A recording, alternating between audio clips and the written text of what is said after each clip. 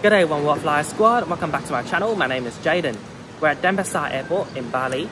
Today we're going to fly Singapore Airlines 737 MAX in economy class from here to Singapore.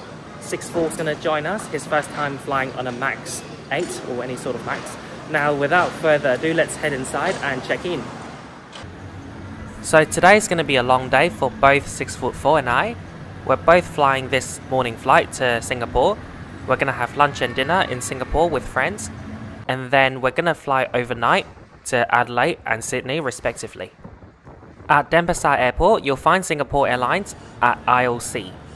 Business class and Star Alliance Gold members Hello. can check in using the business class lane. Our layover in Singapore is over 10 hours, and our check bags are checked all the way to Australia.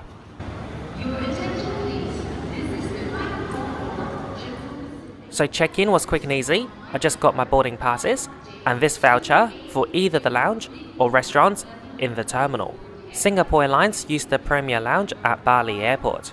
And that lounge can be really busy, especially during the evening when there are many Qantas flights, Qatar Airways, Jetstar and Emirates flights departing. So I thought it was a really good idea for them to offer us to use the voucher in the restaurants. Each voucher is worth about 21 Singapore dollars, 23 Australian dollars, or 16 US dollars. We just made it to the airside. Security here was interesting. We didn't have to take out or tip out the water. My water bottle was over a litre. If you've been to Denpasar airport before, then you will know that the terminal is sweltering.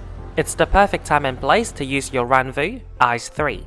It's no traditional neck fan, it's a smart wearable air conditioner. 6'4 came to my Adelaide garage to be my model. So let's talk about first impression. Unlike most traditional neck fan, this does not look ridiculous. It just looks like you got your headphones on your neck. Doesn't 6'4 look so cool there? And you know what? It actually does function like headphones. It can play music and you can answer and make phone calls. The AICE 3 has also intelligent temperature technology to adjust your emotions. It can read your heart rate and blood oxygen level to adjust your body temperature. Personally, I love wearing this smart air conditioner when I go on holidays and when I get in my car.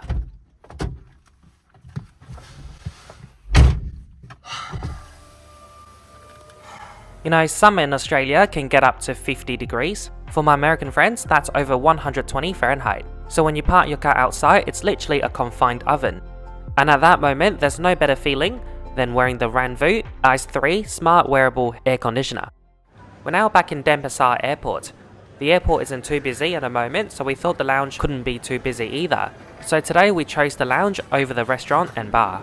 You'll find several lounges, including the Premier Lounge, in the upper level of Denpasar International Terminal. I think today we made a good choice choosing the lounge over the restaurant. There are less than 10 customers at the moment.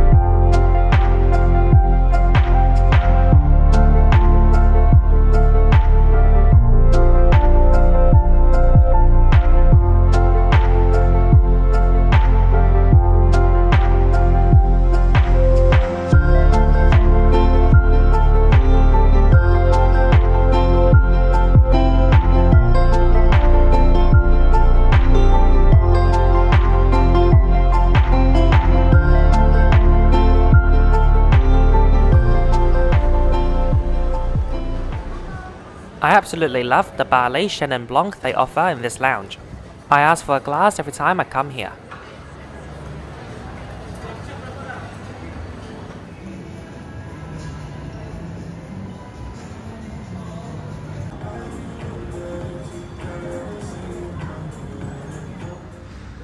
Here's the aircraft that'll bring us to Singapore. It's a 5-year-old Singapore Airlines Boeing 737 MAX 8, 9 Victor, Mike Bravo Echo. This aircraft was delivered to SilkAir in May 2018. Then it was stored for two years during COVID, In 2021, it was transferred to Singapore Airlines.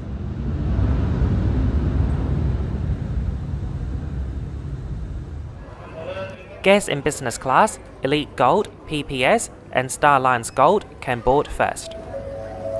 Hello, thank you.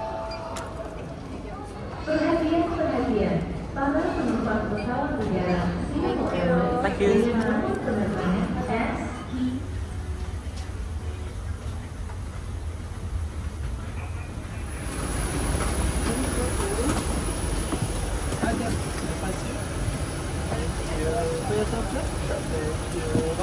Hello. Oh, no need, thank you.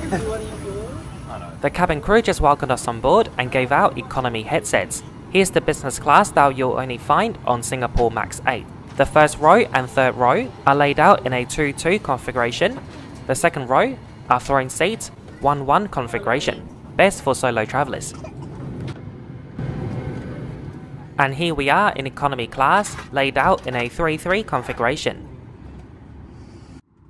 My seat today is 54K, I'll quickly go through the features.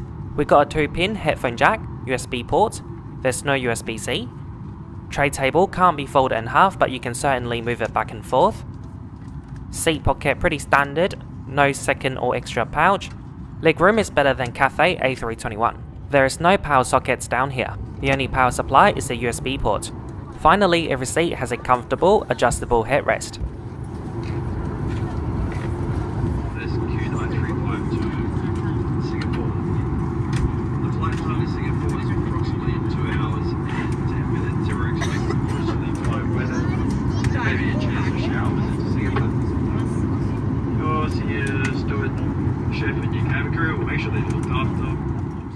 Cabin crew have been so welcoming and friendly so far. We were among the first to board, and the cabin crew came down to the aisle to chat with us. It was a genuinely friendly conversation. She complimented 6 foot 4's carry-on suitcase. It is quite beautiful and colourful, and she was asking if we were going home, Singaporeans, yada yada. We're off to a great start, except for the hot cabin. Thankfully there are personal AC vents, which is quite uncommon across Singapore fleet. Please pay attention to the safety video which will now be shown. Equipment to this aircraft may differ from that of other aircraft. Please give us your attention as we bring you through this important safety briefing and on a journey through Singapore.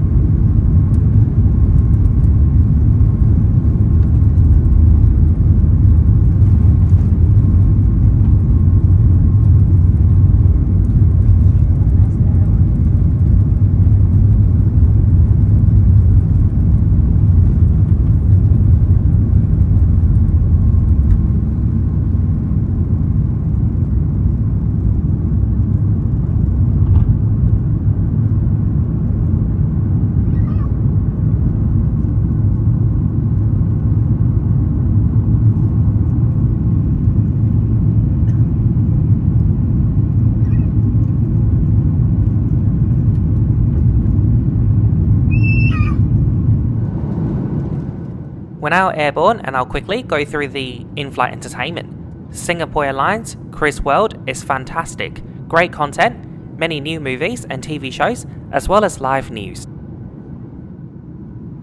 The flight map is interactive, super super easy to use. The flight time today is approximately 2 hours and 10 minutes.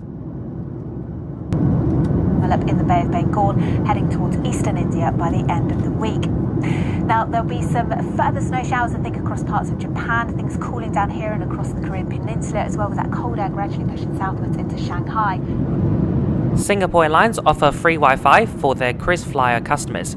I am a KrisFlyer member, however, when I fly with Singapore Airlines, I usually accrue my miles or points with Virgin Australia. So my boarding pass would say I'm a Virgin Australia customer. Unfortunately, you don't actually log in to use the Wi-Fi. Your KrisFly membership must be linked to your boarding pass or booking, so today I couldn't use the Wi-Fi at all. I made this feedback to Singapore Airlines in my previous video, and thankfully since then, Singapore Airlines has changed their system. If you go to manage my booking right now, you should be able to fill in two frequent flyer numbers, one to use for your status benefit, another one for your points. It's perfect for those who've got several accounts with different airlines like me. It's now 11 o'clock Singapore and Bali time, lunch is served. Today we're given two options, chicken rice or beef goulash. Both options come with a bottle of water, a wet wipe, bread and butter, and a caramel cake. Both meals were really good, but with a beef goulash you want to be careful and don't spill it on your shirt. What I absolutely adore about Singapore Airlines is that they offer cocktails in economy. I always get a Singapore sling when I fly with them. Here's the chicken rice. It's very juicy, and the juice goes really well with the rice. Six foot four doesn't want to get his white shirt dirty, so he's leaning forward to eat it. Very nice. Stop.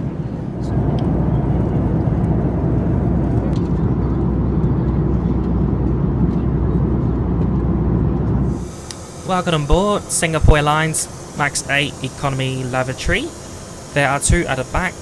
Here's the sink, paper cups so you can brush your teeth, rinse your mouth. There's a latch here, and you'll find toothbrush, toothpaste. Don't know what's going on with the lights. Uh,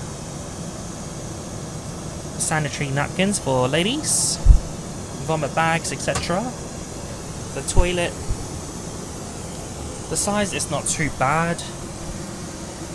I feel like Qantas have smaller lavatories on their 7.3, but maybe it's just the lighting. Got hook.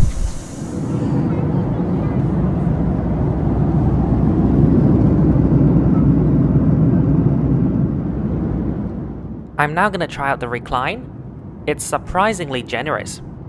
One of the most frequent questions I get asked is that if I prefer Singapore 737 MAX or Cathay A321neo. I'll compare both economy products quickly. The Singapore MAX 8 have more legroom, but Cathay have double seat back padding. So if you're a shorter person, you might find Cathay to be more comfortable. If you're a taller person like 6 foot 4, Singapore MAX 8 is better. In-flight entertainment are both really good.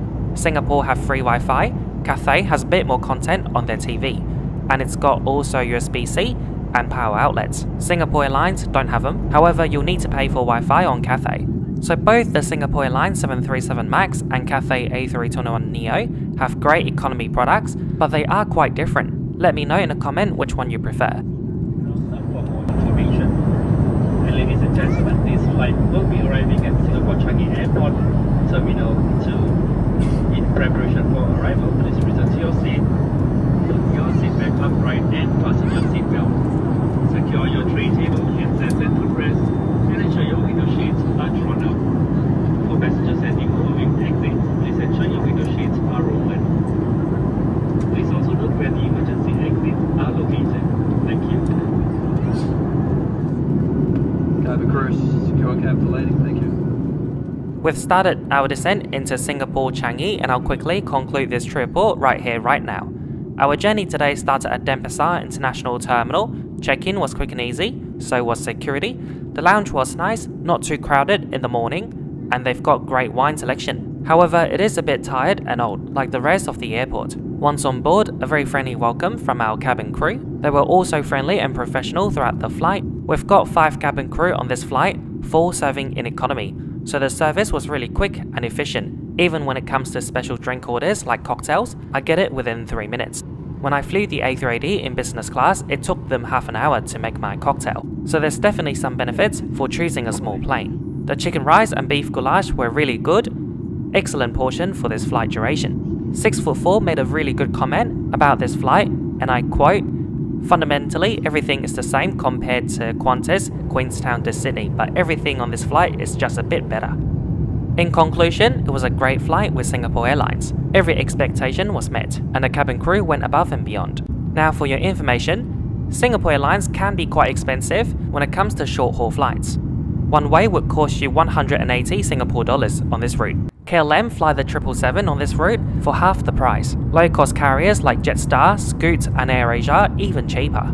So that's it for today. Thank you so much for watching. Hope you enjoyed. If you can, please leave a like, comment down below, and share this video with your friends. And most importantly, if you're new to my channel, a big fat welcome. I upload a news report like this one every single week, so be sure to hit that subscribe and bell button so you don't miss out again. After disembarking, I'll be having a 10 hour layover here in Singapore. You can watch that vlog if you continue watching this video.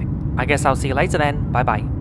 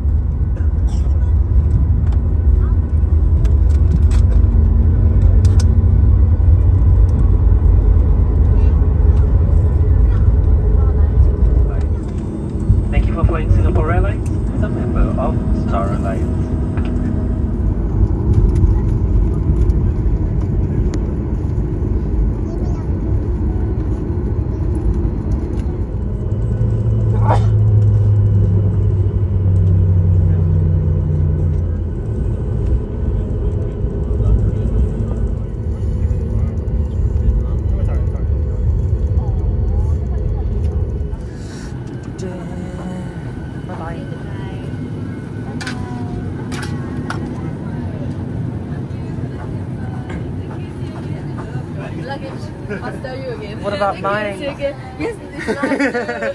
Thank you.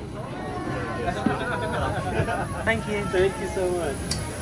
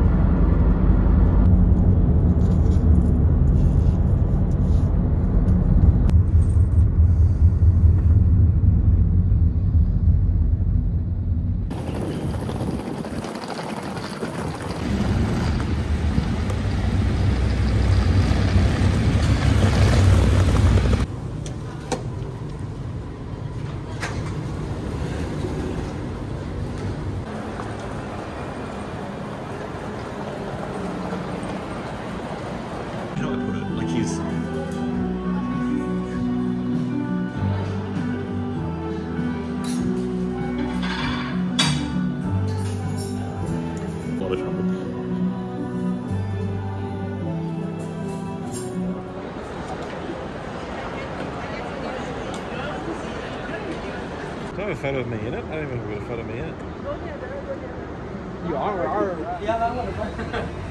Oh, you see that? Oh, it's cool. Oh, Singapore Airlines. I London agree. Airlines. Look, I was very impressed with my flight. I'll tell Of you course, you should be. Better Yes, you than, should. better than. I never. I don't even know him. I, then you wait outside the you, you wait outside the car like this.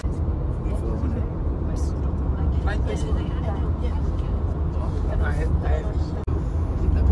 Please ensure your entertainment screen is stowed before the flight. Just bought parking in So we just got back to the airport. We're gonna have dinner at the Jewel. Tonight, 6 foot 4 would be flying the A380 to Sydney, and I'll be flying the 787 to Adelaide. Do check out my 787 trip report, it's already on YouTube.